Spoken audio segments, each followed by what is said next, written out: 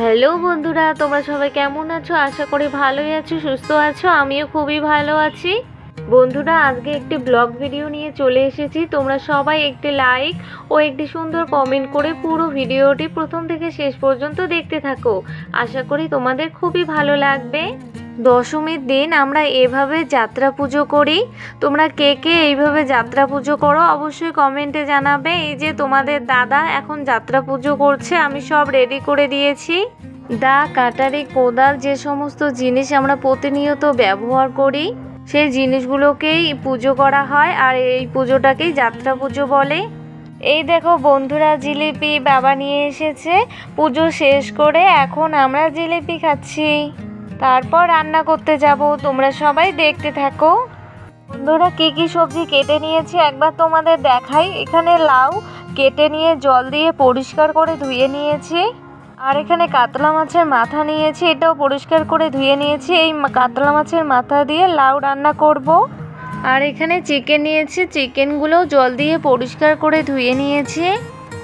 আর এখানে আলু করলা কেটে নিয়েছি, আলু করলা ভাজি করব সেজন্য।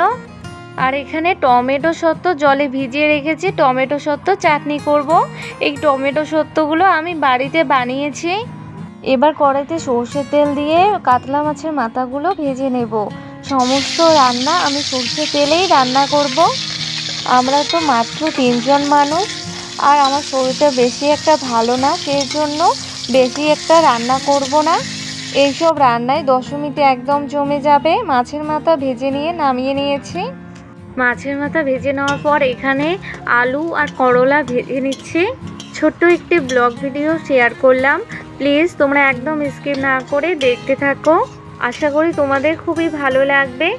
এরপর কাতলা মাছের মাথা দিয়ে লাউ রান্না করছি। তোমাদের দাদাও কিন্তু আমাকে অনেক সাহায্য করেছে। মাছের মাথা দিয়ে লাউ রান্না করার পর এখন চিকেন রান্না করছি।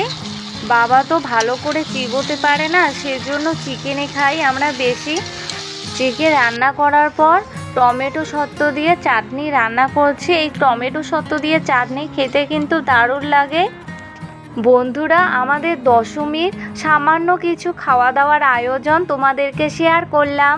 যারা নতুন বন্ধু হতে চাও, বড় ভিডিও দেখে নিয়ে তারপর বন্ধু হয়ে কমিউনিটিতে একটি লেটার দিয়ে আসবে।